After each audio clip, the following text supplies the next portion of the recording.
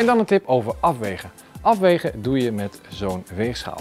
Hoe gaat dat te werk? Ten eerste, je zet hem natuurlijk aan. En als ik hem aanzet, dan zie ik 0. Dat is logisch, want er staat niks op. Maar wat je ook even heel goed moet checken, is de eenheid waarin die meet. Zorg ervoor dat de G van gram zichtbaar is. Is dat niet het geval, dan kun je op unit drukken en dan kun je net zo lang doorklikken totdat je die G in beeld ziet, namelijk die van gram.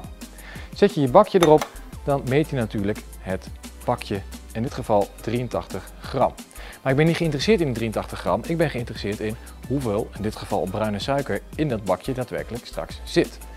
Hoe kun je dat oplossen? Er is nog een knopje en dat staat ter. En als je op ter drukt, dan zal de weegschaal weer op 0 staan. Dat betekent dus dat hij eigenlijk het bakje, die 83 gram, negeert en gewoon 0. Dus alles wat ik er nu in doe, is ook daadwerkelijk wat ik erin doe. Dus ik ga eventjes eh, scheppen en in het recept staat dat ik 20 gram suiker nodig heb. En dan doe ik schep, schep, schep.